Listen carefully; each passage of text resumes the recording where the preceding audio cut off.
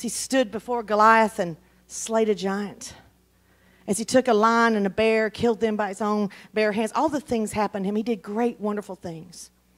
But we also found out that David was a man who had failures. Can you relate? Isn't it amazing how in the same vessel we can have such awesomeness and such treasure, and then the next minute we feel like we got some trash? See, I believe that's part of that sword business that David, that John just talked about. I've been saying this for a while. God, we feel like God's trying to kill us sometimes. He's not trying to kill us, He's trying to kill what's killing us. He's trying to set us free. And it's not pleasant and it's not fun and it's, and it's very painful sometimes. Anybody say amen to that? Surgery is not fun, but he said he would, take, he would do a surgery on our heart. And I've seen him do it in this house. He said he would take out an old stony heart and he replaced it with a heart that could be moved, a heart that could be touched. And I love that. And it's funny because somebody I was talking to this week um, that's kind of new to the church, but they said one of the things that impressed them about this church, I said two things. Um, as many young people as we have and children, we have a lot of youth in this church, younger people, younger couples. Um, and but also she said we have so many men in the altars. She said, I've never been to a church where I've seen so many men on their knees Sunday after Sunday. Wow, I had never thought about it. A lot of churches, it's women that'll seem a little more emotional or whatever, and we are. But the truth is, God is doing something deeper than just emotion. He's changing people.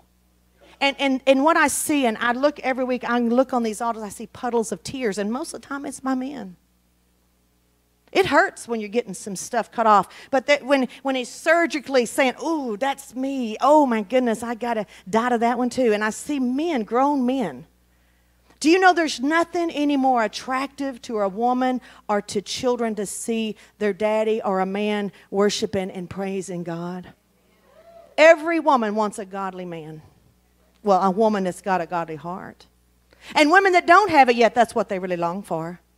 You can make a list of what do you want in a, in a, in a, in a spouse. And, you know, they're not going to, you know, they may tease around and say tall, dark, and handsome. Or, but what they really want, you know what they say? They want a man that's faithful. They want a man that'll love them. As the Bible said, as Christ loved the church and gave himself. See, there's giving in love. Love gives. Lust takes young people, old people, middle people. Lust takes. Love gives. Love is patient. It'll wait. This is not on my deal. This is for somebody. It'll wait. It's worth waiting for. I want to encourage, especially our, our single adults. We have a lot of single adults. It's worth, it's worth waiting for. Don't settle for for just some emotional thing or what you think your needs are. And we have needs, but when we, when we pick somebody out of our needs, we're actually picking somebody out of our dysfunction, and then we end up with dysfunctional relationships. But we've been talking about David. And for all the victories he had, we saw last week, um, we ended on a woman, Bathsheba. And um, and it was lust. He had, all, he had wives that he loved. He had, I guess he loved them. I don't know. He didn't act too much like it, but it was the thing of the day to have many wives and concubines, and, and it was such a lustful thing that was going on. They were letting run rapid, and it got David by trying to fit in and being like other people. Before him was, was Saul. David was picked to, was replacing Saul. And, and David failed, truthfully, and we talked about the story it seems like David really had bigger failure than Saul. We don't really find Saul killing anybody. David had, uh, in his um, getting in a hurry trying to get the ark, he called Uzzah to die. He was out of order and he called a good man to die. Then later on, he killed Uriah the Hittite, the husband of, of, of Bathsheba. Later on, we find out that he, he got ahead of God too, and, and uh, well, he decided to count the people. The Lord then said, You don't count the people because taking the census meant you were going to put your confidence in how many soldiers you had. But he already said, David before it said, I will not put my confidence in chariots and horses and the legs of men. It will not be that. It'll always be the Spirit of the Lord that'll go before us. And because of that, uh, thousands died that day. So there was a lot of mistakes that David made, and, and, and Saul didn't seem to do that much. But for some reason, Saul had been had the spirit removed from him, and he told Saul, he said, Your, your kids won't get the kingdom. I'm going to take it away from you, and I'm going to give it to the son of Jesse, a nobody.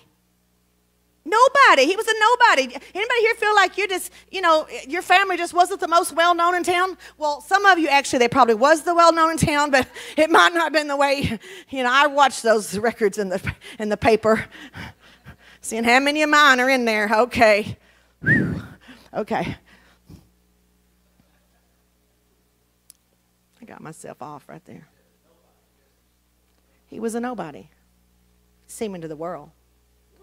We talked last night, God picks unlikely people. So, what was the difference in uh, Saul and David? First of all, Saul did not understand his need of God.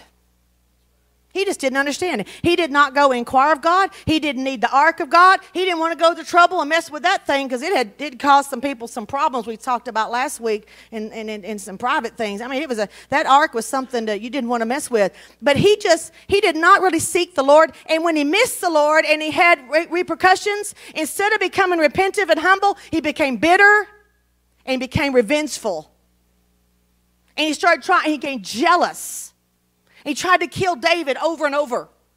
And because of this, the Bible says because he did not seek the Lord, he, did, he, got the, he, he took it away from him. On the other hand, David, who failed miserably several times, but David would be quick to repent. He was quick. As soon as he would feel that I realized I've been off. And then for a while, he did a lot of stuff. He was blinded to it. It took the person of God, the minister, to come to him, the prophet, and say, You're the man, David.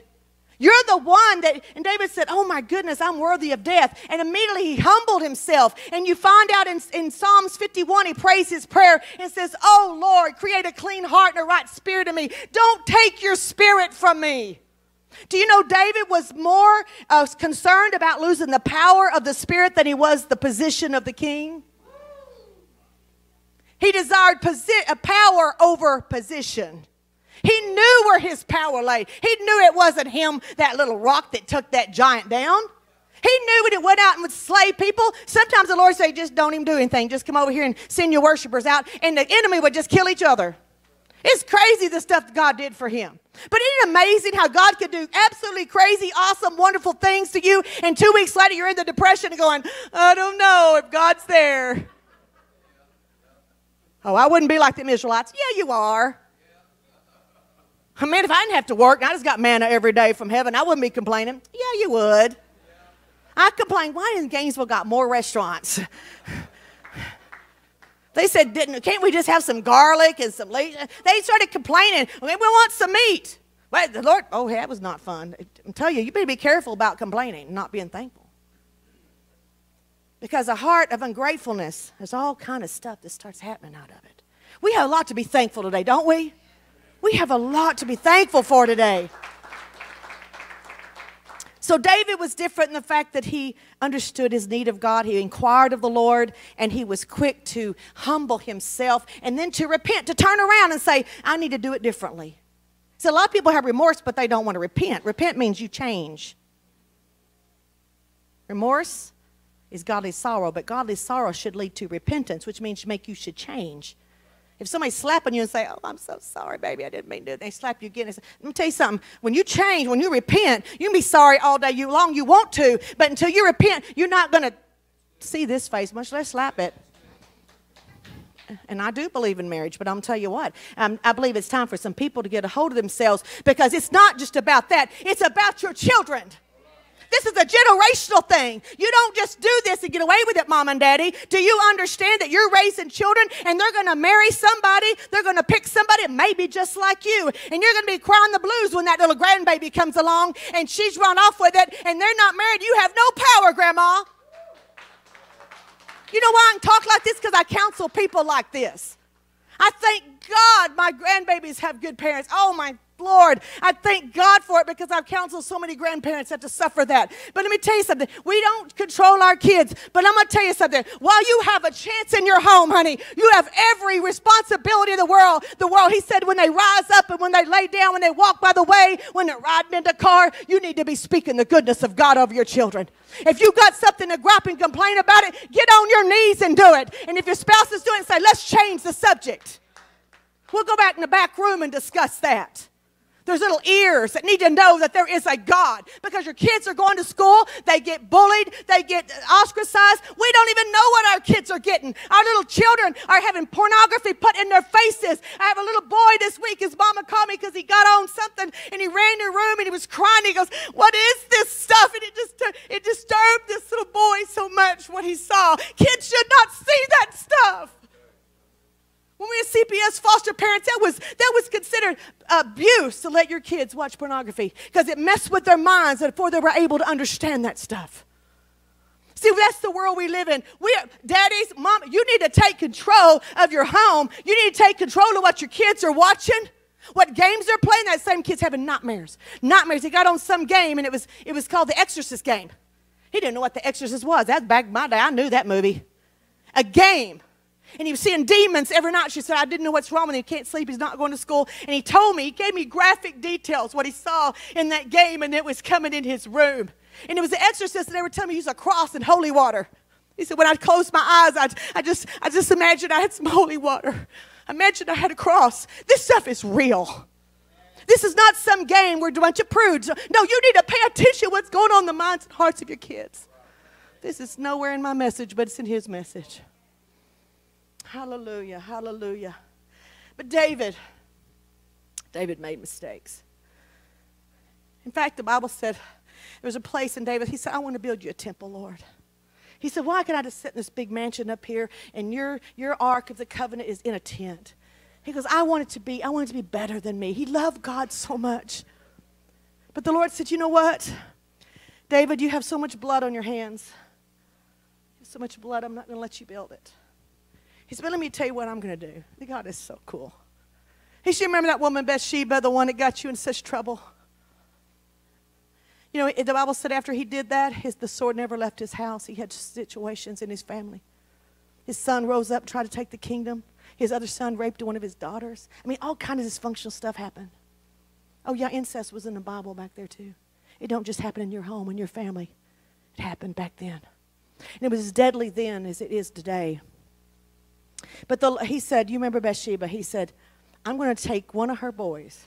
I'm going to take her youngest son by you, and I'm going to make him the one that's going to be the heir of the king to your throne. Isn't that funny? His biggest mess up is where he ended up with the baby, that that's the one he picked. It wasn't Michael's, it wasn't uh, uh, Abigail's, it wasn't his wives, but he picked Bathsheba. You know, even the place of your greatest failure, God can turn that around for something beautiful if you give it to Him.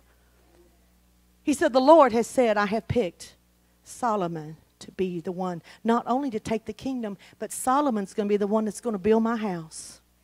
He said, You just get prepared, Daddy. It's not going to be about you, but you're preparing something. The Lord spoke to Gary and I one day. He said, It's not all about what you're doing, it's who you're preparing. See, it's not all about our ministry, it's about what you're going to do with your ministry. See, preachers, they get real confused thinking they're the one. Now, all we're doing is trying to help you be the one, and the one, and the one, and the one, and the one. We're to prepare for you the work of the ministry. It's your ministry. But it said, David, he said, uh, I'm going to allow your son. He's going to build the house. And David worked the rest of his life, took his money, he, he, bought, he got the trees cut down, had the lumber ready, he had, the, he had the, the gold ready, he got the workers ready, he had everything prepared for his son. And it's amazing, today you don't hear it called the son, the house of David. You don't. It's not called the uh, the David's temple. It's called what? Solomon's temple. Solomon's temple. But you know what? The Lord showed me something. He may not have been to house, that physical house that's that they're trying to rebuild over there today. Uh, he may not have had that house, that temple named after him, but there was a temple that was named after him. Let's turn to, um, I don't know if I gave you this scripture. Acts 13 22, Paul was talking in the New Testament, and he said, after he'd removed Solomon, I mean, after he'd removed Saul, King Saul. He raised up unto them David to be their king. And he said, I found David, the son of Jesse, a man after my own heart. He shall fulfill my, my will. And this last line here. And out of this man's seed hath God, according to his promise, raised up unto Israel a Savior named Jesus. The temple that was going to be named after David, the blind man would cry out as he seen Jesus walking, he'd say, Behold, the Son of David. Over and over, the Bible, they call Jesus the Son of David. In fact, I want to read this. Let's go to the first book. This kind of shocked me. The first book, the first chapter, the first verse, the first line of the New Testament has David's name in it. The New Covenant. Matthew 1 and 1 says, The book of the generation of Jesus Christ, the son of David, the son of Abraham. You see, out of this seed, out of his sperm, out of his offspring, that there was going to be a day that it was going to be, the Messiah was going to come and he was going to be a part of the family of David. You mean a man that failed like that? He said, I chose, a before, he said, a man after God's heart. David inquired after the Lord. And I said this last week. Do you know that's what he's looking for? He's not looking for a bunch of talented people. He's not looking for a bunch of uh, uh, educated people. Oh, he uses these people. He's, but you know he's looking for? He's looking for a person who has a heart after him. I don't just want a heart after me. I ain't a heart after the world. What do you want, Lord? And because of him, he took him, and this became the heritage of, of, of David that he would be called. D- Jesus Christ would be called the son of David, the son of Abraham. The son of Abraham just simply meant Abraham was what we call the father of faith, and John talked about it Monday night. Really and truly, the only what you really see about Abraham, what made Abraham so great, was one thing: he believed God. He just believed God, and all the mistakes he said, "I'm just going to count it as righteousness because he believes me." See how important that was? We got our, our priorities messed up. We, we think it's all about what we see on the outside. The reality is, he's looking for somebody that believes him and somebody that loves him. It's that simple. You can just take all the other stuff. You got those two, you really got it. So you, you can pat yourself. If you believe him, well, oh, that's easy said and done. People say, I believe in him. It's different to believe him. That's when you can't see what's going on and you still believe him. That's what Abraham did when the Lord said, You go and go sacrifice your son. He didn't know what was going to happen. But I found the very first place in the Bible that the word worship is was when Abraham went to take his son up, and he said that Abraham went to worship. So this is leading me into something else about David. I want to, probably wrap up David today. We know him as the giant killer. We know him as the one that carried home the ark. We know him as a great king. But you know, one of the most wonderful things we know about David is he's the one that wrote Psalms. David was a man who could praise and worship like nobody else. Is David known to be a worshiper? He was a worshiper. The Lord brought this back to me. He's famous for writing the Psalms. David had plenty of reasons to give up on his walk with God, but he remained a radical worshiper. In fact, when he went to bring the ark home, remember the picture when he went to both times? The first thing he did was gather up a bunch of singers and musicians. And he said, You're going to go before the ark and you're going to sing and you're going to play and we're going to shout and we're going to dance as they brought it in. And the first time he had a little bump in the road and he had to stop and go back and he had to reconsider and re- recalculate, recalculate. he had to repent and turn around and find the path to go on. And that time when he came into Jerusalem, he said he danced so mightily he, I said what the word it used. Um, I had it down here. But anyway, he, he just, he, he, he danced with all of, of all his might. That's what it says. All his might. You know what might is? It's your ability. You love your Lord your God with what? All your heart, your soul, your mind, and your might. That's your physical ability. He danced. He played. David was a skilled musician too. You know where he learned that? At back on the back side of back out there in the wilderness keeping sheep. He learned how to, how, how to worship. He learned how to play, and he had brought the house of God. And David, let me tell you something. David learned, this might be to some of y'all. I, I read David's Psalms, and, you know, they're not just all happy, joyous. he complains. Sometimes you feel like he's just shaking his fist at God, like, God, where are you? oh, he's telling God, he poured out his heart before him, poured out his complaints. You see him, he, he, he talks about his fears. He talks about his weariness, but then at the end of it, every time he come, he pull himself out by saying, "But great is the Lord; His mercy endures forever." He started off just griping and complaining before he got to the end of that prayer. He'd been praising God and said, I remember when you delivered me, delivered me from the hands of the giant, the Philistines. I remember when you did this. I remember. How many y'all ever start off prayer talking to God about your problems? And if you're smart, you'll move into worship before you ever get over it. Because that's how you're going to move on. See, David learned that when I put worship out, it'll go before everything else. When I worship, victory is inevitable. When I worship, victory is inevitable. It will happen. You may have to worship a while. You may have to dance a while. You may have to do whatever you do in your might. But after a while, David learned if I will just continue to worship, because he said, The Lord is my strength. He's my salvation. I wouldn't even be here. I sure wouldn't be king. David didn't even apply for that job. I didn't apply for this job. It's amazing how God will put you places you didn't even mean to go. You didn't know God has got a plan for you so much bigger than you could ever know. Just get with Him and you start learning how to worship Him through everything going on. You become a worshiper, honey. Victory is ahead. It is a promise. That's why God put it in here. You want to get you down, get restart reading David. I hope David becomes alive to you. And the main thing is about David. I want you to get in the Psalms and you read those Psalms every day. If I'm down anyway, I just open up the Psalms and I'm telling you what, you just keep reading. It's so encouraging. David was a role model how to fail and get up and do it right.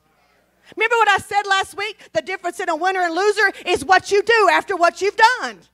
Do you keep on lying about it? Do you just dig your deeper hole? Or do you turn around and say, Whoa, right there, I'm going to take the consequences. I'm going to quit lying to get out of trouble. How many young people tried to lie to get out of trouble and, and that lie, what got you more? You know what? When, when you mess up and you go tell your mom and dad and you say, you know what? I messed up. I'm looking for somebody back there. They was sitting back there with glasses on. Hope you're not laying down. I'm going to come back there and get you. If you would go and say, you know what?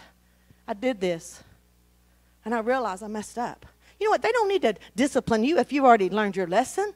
You know, mom and dad are not trying to punish you, they're trying to change you, they're trying to keep you on the right track. God is not trying, thank you, Melissa said, preach it. God is not trying to punish you for sin. Jesus done took the punishment. What he's trying to do is get that junk out of your life so you can get on the right road. Because he's got treasure for you. He's got all your prayers to be answered. But you're asking him and then you head that way. Just keep after him. Be after his heart. Don't stop in the middle of it and give up.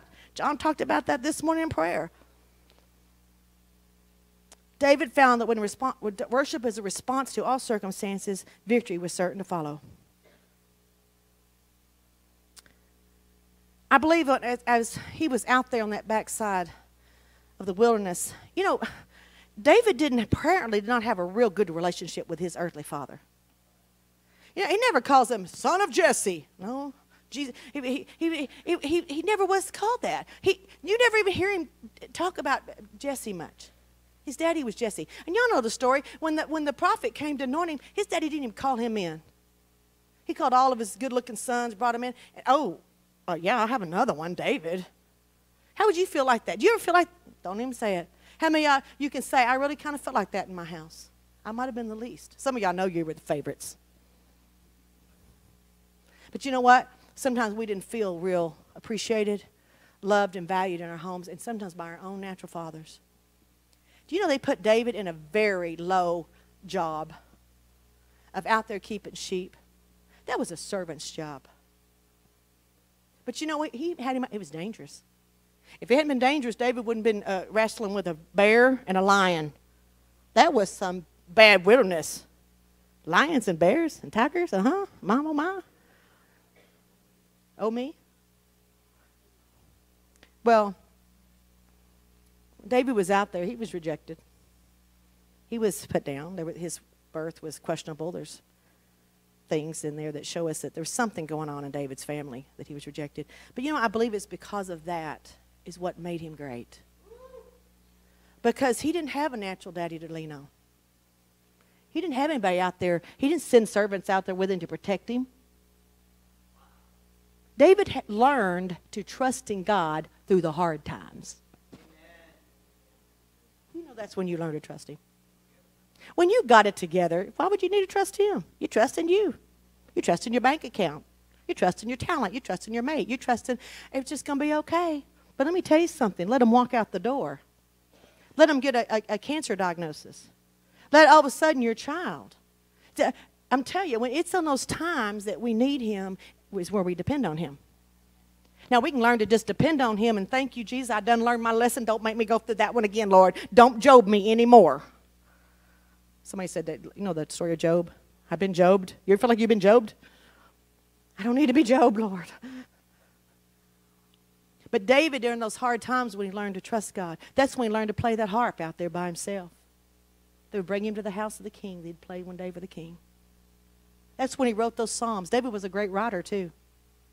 He was able to write those things, and you read about them in his study. But it was because of that, I think he could be real honest with God. That's why when you're reading the Psalms, he can gripe and complain, and, and he's just talking like, I mean, it's amazing how much trust he has in God. Do you know that's why you act worse at home? Is because then you do in front of people because you trust the people at home.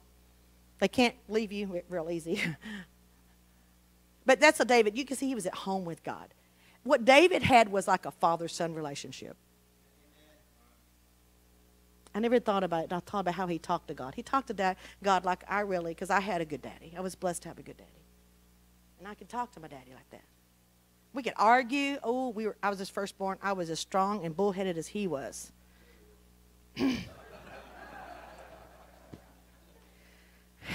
That's why God gave me this awesome man to keep me under control.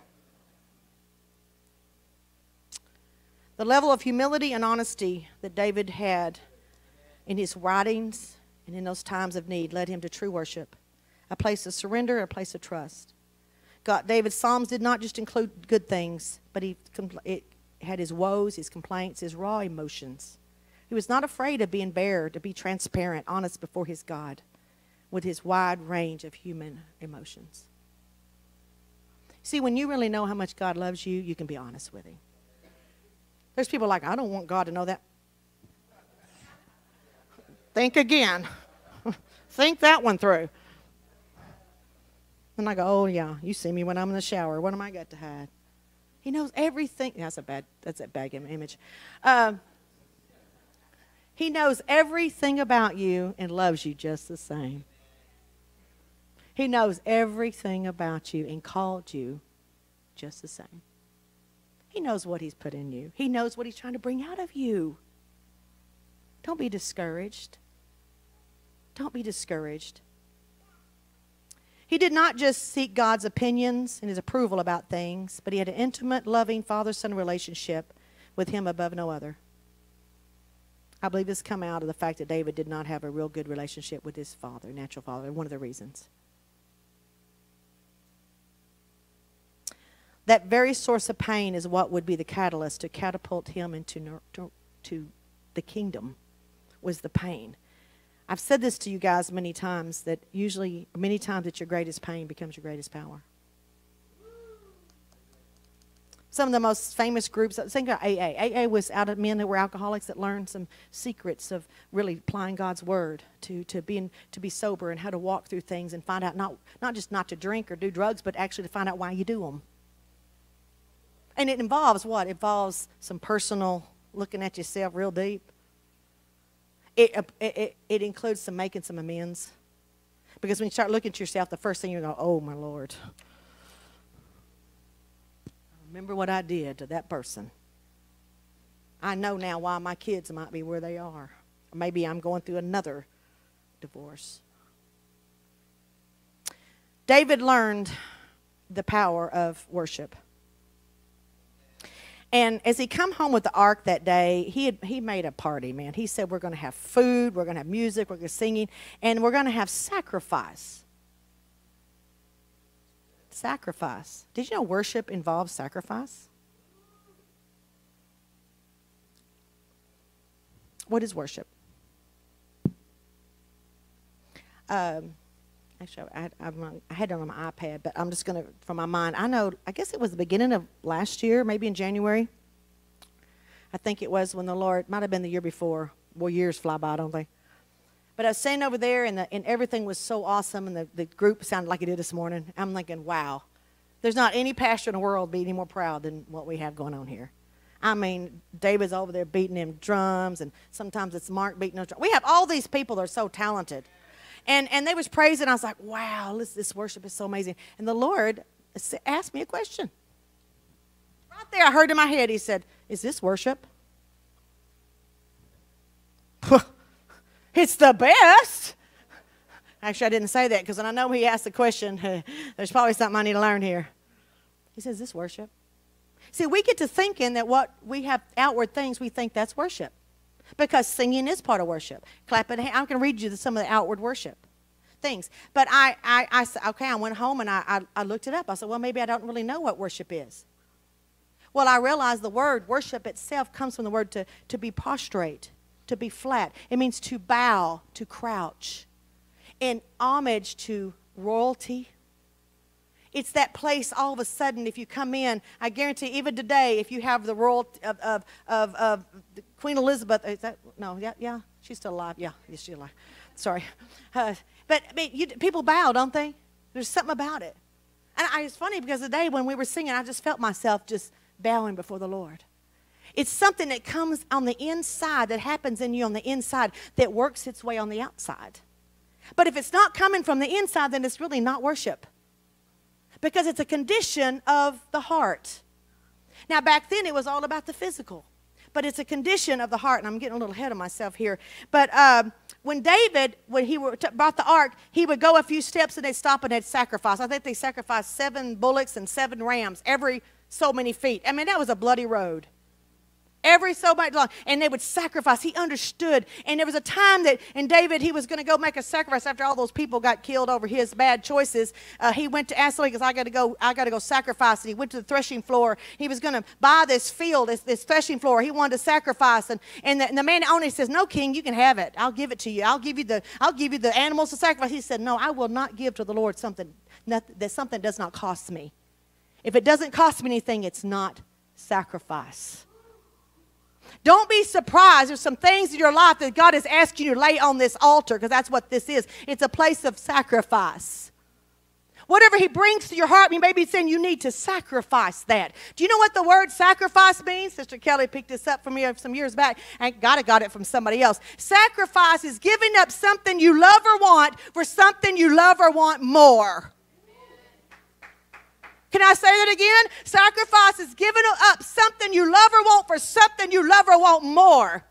Some of you sacrifice sleeping in this morning. You might like do that, but you're like, no, I'm going to get up and I'm going to get those kids. Well, we got school all week. Quit whining about that. You get them up for all kind of crazy stuff. You keep them out way in the night for some band concert. You get them up early in the morning for track and have them out there, but it comes time for Sunday, honey. Well, just let little baby sleep in today. Oh, you might, we wishing that you had, while you have a chance, you need to get them to church. Let them sleep in on their time later. How about that? A little extra there. I throw that in there. Somebody said they smelt soap in there. I said, I'm to be doing some cleaning today. Hope going to clean, clean that up there a little bit. Sacrifice. Worship is a lifestyle, and sometimes it's a sacrifice. Hebrews 13, 15, it says, By him, therefore, let us offer the sacrifice of praise to the Lord continually. That's the fruit of our lips, giving thanks to his name. Continually? How am I going to give thanks to him continually? Do you know what my life's like right now? No, he said, here's what he said later on. He said, In everything, give thanks. He didn't say for everything. Some people misquote that. Well, I just thank God for my flat tire today. Well, honey, you're more spiritual than me. I do not thank God for that. But in the middle of that, I can thank God. In the middle of standing on the side of the road, and I can say, Lord, you're going to take care of me, Daddy God. I know what the word said. You're never going to leave me, forsake me. You're going to bring somebody to my rescue today. I can thank you on the side of the road till it happens. I'm going to praise you till I see the answer on its way. Because pr- worship and praise will precede victory. I can start praising. He said, Let every request you have be made known with thanksgiving. Lord, I thank, and when we do prayer meeting on Monday nights, I, y'all hear me do this all the time. Lord, I thank you that you've heard our prayer. I thank you, Lord, you're going to heal this person at the right time, the right place. I thank you that we can bring this before you. Thank you, Jesus. You tore the veil in two. I can come right up into your throne. I don't need no priest to go in for me. I don't need no friend to go in for me. I don't need no preacher to go. I can go myself right straight to the throne of God because now I'm in Christ and He's in me. He is the high priest, the Bible says, and He is the one that makes atonement for my sin and my needs. He said, Come boldly to the throne of God for the time of, to receive help in the time of need. When you need to help somebody, you can go to Him. Isn't that powerful? Continually. Let the sacrifice of praise be to God continually. It's the fruit of your lips. You're giving it to Him. That's, that was. Uh, Hebrews 13, 15. 1 Peter 2, 5 says, You also, as lively stones, you're built up a spiritual house, a holy priesthood, to offer up spiritual sacrifices accepted to God by Jesus Christ. Psalms 34 and 1 I will bless the Lord at all times. His praise shall be continually in my mouth. Psalm 71 14 My hope will, I will hope, expect, continually. My praise will be before you more and more and more. First Thessalonians, I already quote that in everything give thanks for this is the will of God in Christ concerning you. You want to know the will of God? I'll tell you. Start praising Him for what you got right now. Oh, I just see the will of God about my about what's going to happen. You know what? That's His will. Start thanking Him in advance. Lord, you know what job I need. You know what person I need. You know what my kids need. You know how uh, you're going to bring me a companion. And Lord, I thank you, Lord, that it's not good to be alone. You're going to do that. If I'll trust you, and if it's the best thing for me, there ain't nobody going to stop it. And this time it ain't going to be like the last three losers. I got to smile sometimes. Whew, let me tell you something. The enemy wants to stop you from praising. See, praising is when you're telling God how big He is. And you start praising Him long enough, before you know it, you're going to enter right into worship. And you ain't going to care what anybody thinks. You're going to be like David. When David got before that ark, when he came in the city, his wife looked down there, uh, uh Michal, and, and she was so jealous. And she, oh, I was going to read what she said. It was pathetic. Oh, my. Let me just read about that woman. And, uh, honey, you, oh, thank you, Jesus. I can't hear everything Gary's saying over there. Where would I have that at? I thought I had it marked. But she started making fun of him. I'm going to tell y'all, I have it here somewhere. Okay, maybe it's over here. I've gone all over my page. See, God can use people like me too. Well, anyway, I don't have it right here. Oh, it's uh, 6 and 20. 6 and 20. Okay, I have it right here. I had to have it right there. What's wrong with my glasses? David returned to bless the household. And Michal, the daughter of uh, Saul, came out to greet David. And she said, How glorious. Here, a little sarcasm here, a little hostile humor. How glorious was the king of Israel today, who uncovered himself today in the eyes of all the handmaidens. She's real worried about them women looking him. And of his servants, as one vain fellow shamelessly uncovered himself. See, the Bible said he danced so hard and so unshamely his cloaks fell off. I don't know if he got all unclean, but his kingly robes fell off of him, and he just looked like a regular old guy out there. And she's making fun of me. She said, You're out there like some vain, shameless. I think they wrote a song about shameless. Don't start singing it. And David said to Michal, This was before the Lord. Woman, I was doing this to the Lord, which chose me before your father and before all. Oh, he started talking about the family. I don't suggest that one. I do not suggest that you start talking about her daddy. I'll tell you. That, mm, mm, yeah. It's no wonder that woman was hacked off. If he goes there, he said, I, I, I the Lord chose me before your daddy did. I just saw that. It's so funny. He said, uh, and, and, and, to appoint me ruler over the people of Israel. There, therefore, I will play before the Lord. He said, Lady, you think this is bad. I'm going to play, and you ain't going to worry about it. He said, I will yet more be vile than this. I'm going to be so embarrassing to you, honey. You just want to hang on. You shouldn't have said that because you just egged me on. He said, I'm going to do it harder. I'm going to do it more. I will do more. And he said, I will base my own eyes and uh, my, in my sight in the main and the maidservants which you have spoken of them, I shall be held in honor. He said, You might have contempt for me and you may not understand, but the little people down here, the little servants, they're going to know what it's like to praise God. You're sitting up there in your palace, Miss Queen, and here I'm down here. I ain't doing this for you. I was one of the little people. I know what it's like to be on the backside of a, a field where my mom and daddy's left me, and I'm having to fight by myself. I had become my own defender. I had to learn how to defend my, myself. I will praise God and you can just keep your mouth shut because the people that matter are going to see it and they are going to know that there's a God in Israel. Because I am going to lift him up. Let me tell you something. The devil will send all kind of distractions. Sometimes in your own home, and sometimes in your own spouses. We can do that. We can discourage one another. Who do you think you are praising God? How you talked to me this morning? You better hope he praises God. That's the only thing going to change his heart. I just feel like such a hypocrite. We had a fight. Me and Gary have many, I ain't looking at some of y'all. We have arguments sometimes on the way to church. Now, not as bad as it used to be. Because we had a whole passel of kids, our kids and foster kids, and, and we had all reasons to get into it on Sunday mornings. Because he just over there like, oh, you ready to go yet?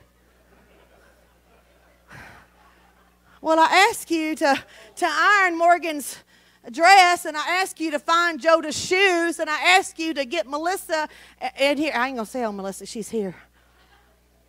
Oh there's all kind of distractions that can come to help to stop you from praising God.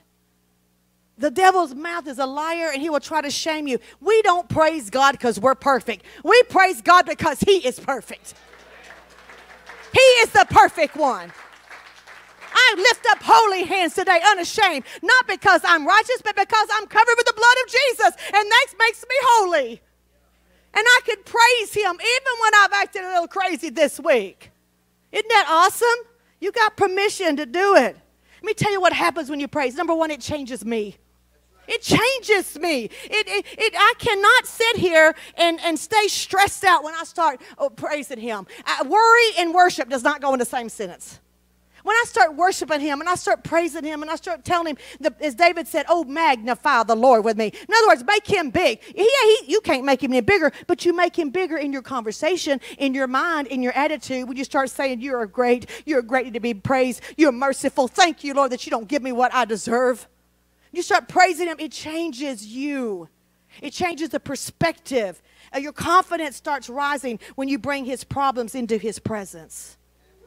Bring your problems into His presence and lay them on the altar and say, You see how weak I am, Lord? This is why I'm here. It's because I need you. When you got that heart that I need you, that's when the greatness comes. It was Saul that said, I don't really need him. I got it. I don't need to wait on the, the, uh, the priest to sacrifice. I got this. Oh, I know God told me to kill all those people. Nah, I think I want to save the best for sacrifice. See, he thought he knew more than God. He was logic. He followed his own reasoning. That's the devil. Your own reasoning, I'm telling you. You want to talk about the enemy? That's your enemy. Is the is the logic of your flesh. It says, I don't need to act all that way. I'm not going to jump up down like Sister Pam with her heels. Well, you don't have to. You may not feel what Sister Pam feels either. I'm telling you, I, am one of those, I'm kind of, you don't all have to act like me. Please don't act like me, everybody. But the truth is, act like you. Be real about who you are. Get off the shame kick and what people are going to think about me or what I did in my last church. This ain't your last church. It ain't your first church, but hopefully it's going to be your last church. there you go. Number two, worship changes the atmosphere. Oh, yeah, it moves the heart of God. It's not because he's some egotistical God that desires to be praised, because, but what he is, he's a father that wants you to love him back. I wrote a song on my album. It's called Love Him Back. I just released a video about it because it may not be the best song, but it's my message song. That's why I put the money out there to do a video because I want people to know really all God wants you to do is love Him back. Because in loving Him back, you want to worship Him. In loving Him back, you want to obey Him. In loving Him back, you want to be a good representative of your daddy God. Loving Him back changes everything.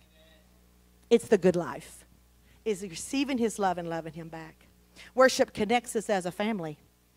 It, it changes, it charges the atmosphere, and it connects us as a family. When we start praising, singing those same songs up here, y'all know what happens in the house. Boy, it the little the little um, river that comes up. He said, "We have out of our body, our mouths, will, out of our bellies will flow what rivers of living water. What uh, streams? Is it streams? Anyway, but what, it's water that comes out. It's the Spirit. Rivers, and it comes out when you put your stream and your stream and your stream your stream. All of a sudden, there's a river in the house. See, everybody, your mouth is important. It's very important that you speak up and you speak out and you give him praise. And you give him worship and you tell him how much you love him. You can just learn, you start doing it uh, uh, just whispered under your breath. You see, let me tell you something. If you think worship, though, is just because you're singing, because you're clapping your hands, you're mistaken. We can sing songs and we can speak uh, words of praise, and, and, we think that really lifts us up. Uh, it helps us, it, it moves the, the, uh, the, uh, the uh, our attention. But the truth is, in Matthew uh, 15, 8 through 10, he said, The people draw nigh to me with their mouth, and they honor me with their lips, but their heart is far from me. You ever sing a song and you're buying groceries somewhere in your head? Thinking about what you're going to do, what you're going to eat? Ministry? What am I going to what am I fixing to do? He said, they're in vain. It's, it's vain worship. And he said, and not only that, but some people think worship is if they do everything right, they're worshiping. He said, in vain they do worship me, teaching for doctrines, for doctrine the commandments of men. They're telling you all these things that man told you, and that's how you worship. Just do this, do this, do this. And let me tell you something. This is not all about, this is not about what you do. It's about who you are. It's about a condition of your heart. Um, let me, oh man, I wonder, I'm out of time, but I wonder to really read some of the Psalms that David did. And I, I just want you to, in fact, I'm just going to, I'm going to just read it quickly of these and just encourage you uh, to get out the Psalms. And you can open them up anywhere. I just opened up my Bible and I looked down at some of the things that I had marked. And I, I'm expecting to follow me, but Psalms 95, he says, Oh, come, let us sing unto the Lord and make a joyful noise uh, to the, God, the rock of our salvation. See, there's singing, and then there's a joyful noise. Now, some of y'all think that's uh, my singing is uh, it's off, but it's a joyful noise. I don't really think that's what he's talking about. But your singing is your singing. God don't care if you're in tune or not. We, John does if you're going to get a mic in your mouth. But um, a joyful noise, yeah, I make them all the time. I don't realize it. Y'all hear me up there? I go, woo! Woo! Yeah. It's a joyful, I can't stop it. And you know what happens? It's praise coming out of my belly and it charges the atmosphere.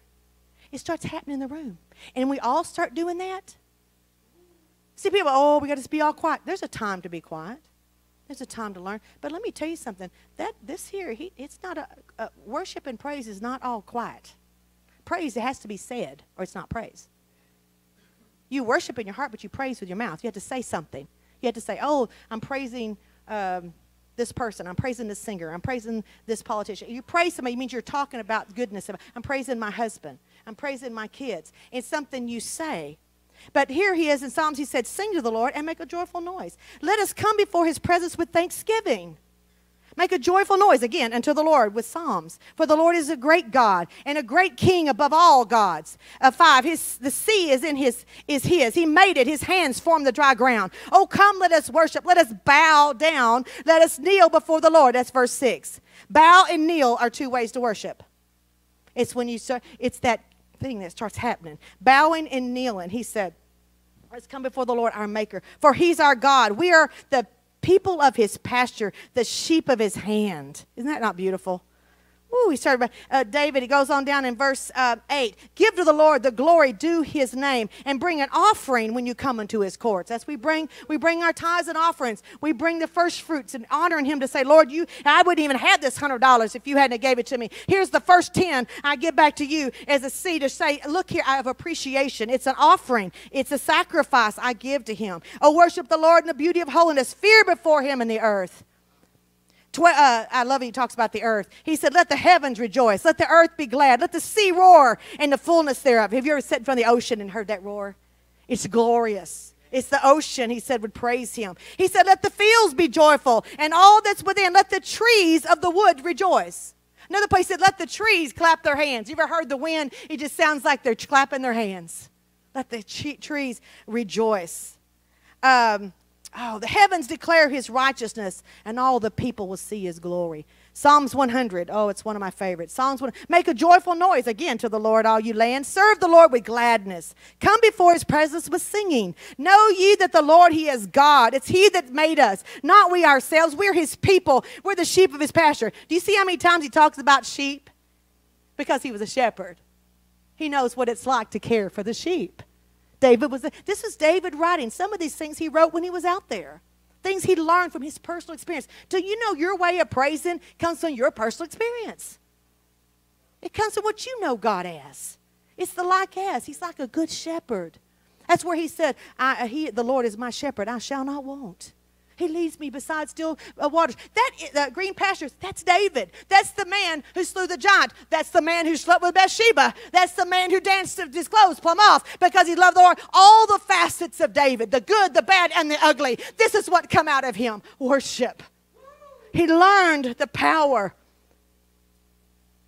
Know you not that He's the God that made us, not ourselves. We're His people, the sheep of His pasture. Enter into His gates with thanksgiving. That's how you start. And then in, go a little further into His courts with praise. Be thankful for Him and bless His name. Verse 5 For the Lord is good, His mercy is everlasting, His truth endures for all generations. Wow. Psalms 103 Bless the Lord, oh my soul, all that's within me. Bless His holy name. Forget, oh, He said, don't forget His benefits. He forgives my iniquities. He heals my diseases. He, oh, it just goes on. Uh, it's, it's, he's not dealt with us after our sins or rewarded us according to our iniquities. Thank God. We'd all be struck by lightning. For as the heavens is high above the earth, so great is his mercy toward those that fear him. As far as the east is from the west, he's removed our transgressions from us. David knew what it was like. When he stood there and realized it came to him, he killed one of his best friends in the world over a woman. Oh, thank you. See, David was passionate when he wrote these things. It came out of his pain, it came out of his joy, it came out of his life experiences. You have something to give him today. Sing, bow your knees, kneel, give an offering, clap your hands. Oh, he says, uh, clap your hands, all you people, shouting to the Lord with a voice of triumph. Praise him on the instruments. These are all things that David talked about. He said, another place I didn't go to, he said, talk of his wondrous works together. For he listens. What do you talk about when you get on the phone? What do you text about on the phone? Are we praising God with our life and reminding each other how God is great? This is one of my favorite scriptures, Psalms 141 2. He said, Let my prayer be set forth before thee as incense, and the lifting up of my hands be as the evening sacrifice. Back then, they had physical sacrifices. Today, he said, it's as simple as you lifting up your hands as the evening sacrifice. You know what I'm lifting up my hands, what it is? It's me giving me. He, he said he don't now want the sacrifice of goats and bulls. He wants your life to be a living sacrifice. He wanted dead sacrifices. Now, now he wants live ones. We're living sacrifices. He said that I beseech you, brethren, by the mercy of God, you present your bodies a living sacrifice, wholly acceptable to God, which is your reasonable act of worship. That's what he wants from us, to give him me. Because, see, he said it was no longer just going to be a physical act. But in John 4 23, he said, The hour comes and now is that true worshipers shall worship the Father in spirit and truth. The Father seeketh such to worship him. For God is a spirit, and they that worship him must worship him in spirit and truth. You know what he's saying right there? This is not about the physical, it's now about the heart. And when you start to worship him in your spirit and you're talking to him, before you know it, you'll be clapping. You'll be lifting up your hands in the sanctuary. There's a whole bunch of scriptures said lift your hands, about five of them. Lift your hands in the sanctuary. Lift your hands. I don't know why churches miss that one. It's all through there where he says lift up your hands in the sanctuary. Bless the Lord. Uh, over and over he says. And, and, and here he said, he wants you to, he's looking for people that'll worship him and down deep in your spirit. He didn't say he was looking for preachers, singers, workers. He was looking for worshipers. Are you, is that you? Kids, is that you? Are you learning to worship at a young age? To love Him back and to use your voice. I know when y'all go to camp, y'all go to these concerts, y'all back there screaming and hollering and jumping them down and all that kind of stuff. But you know what? I want to see. I'm not saying we have to get all crazy. But you know what? I don't mind getting as crazy as David if that's what it takes. David was not afraid of looking like a child, looking like a fool. He didn't care what people thought because he loved God. He depended on him. He knew the praise is what's going to happen. Let me wrap the three things I've got out of this. That praise is not just what you praise is what you say and worship's what you do. So keep praising and worshiping God even when you fail. Remember, it matters what you do after what you've done. Trust His mercy and love. Trusting is how you get through things. Humble yourself and worship your way through. When you have messed up or you're having a bad day, humble yourself and worship your way through that day. Just put on the, force yourself. Put on the music. Put it on your iPad. Put it, whatever you got to do. Put it on and start worshiping your way through that problem. Talking to God and magnifying Him, and let's see what happens to your day. Number ten, two, give thanks in all things. He's working things for our good. And when you start giving Him thanks and giving Him praise, it helps you keep the faith when you remember what He's done. And when you start verbalizing His word, it helps you to remember that God, what He did once, He'll do it again. It raises you up. And when your faith rises, then there's nothing impossible with praise. Number three, it's an attitude of the heart. And this attitude on the inside will radiate out into the physical. Worship will become a lifestyle. And people around us will see there's a God. And they will see because you love Him and you praise Him, there's nothing any more attractive. People have been so sick of religion that it was a bunch of do's and don'ts, and I'm condemned, and they're a bunch of hypocrites. Well, you know what? What they were saying is people were fallible. And back in the day, we had to go to church and put a church face on. You know, I don't put people down like, oh, they're a hypocrite. At least they're coming. What are you doing? Sitting back and griping? You know what? They're coming. You know what? If you're in the presence long enough, that's where the changes happen. So you feeling like a hypocrite? Well, I can't go because I forget all that's a lying devil. Quit the lie. The, quit receiving the lies. This is how you're going to get to where you're going to go. You're going to worship your way through it. Remember who you are and whose you are.